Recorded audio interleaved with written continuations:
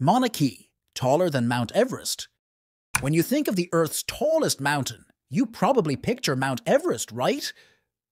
But what if we told you Everest isn't the tallest? Meet Mauna Kea in Hawaii, an underwater giant that rises even higher when you measure it from its true base.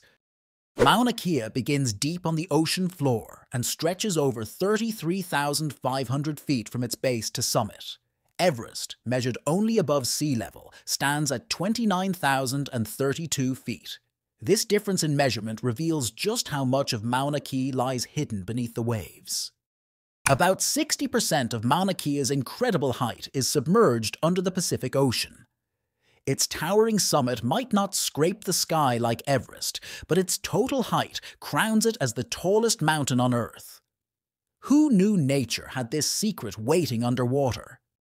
Mauna Kea's story reminds us how fascinating Earth's geology is. It challenges the way we define mountains and shows us the importance of looking beyond surface measurements to see the full picture. This underwater giant truly reshapes how we think about natural wonders.